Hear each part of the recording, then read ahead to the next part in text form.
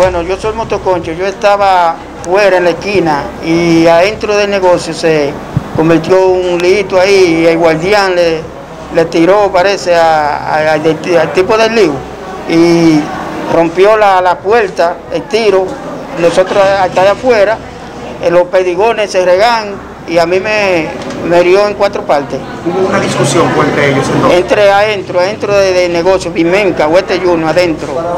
¿Por qué ocurrió esa discusión? ¿Ustedes conocen? No, no sé nada, no sé nada. La discusión no sé nada, porque yo soy motoconcho y yo estoy afuera. Usted fue impactado entonces. ¿eh? Usted fue impactado por los perdigones también. Exactamente. Y hoy otra persona también, ¿cuántas más? A él le cayeron tres, tres pedigones de tiro. Bueno, ¿cómo el Y, lo- y los míos son cuatro. Amado Taveras Hermosén. Imagínate, yo llegué del campo mío, eh, que iba a hacer un negocio con un camión y paré el camión y me desmonté del camión.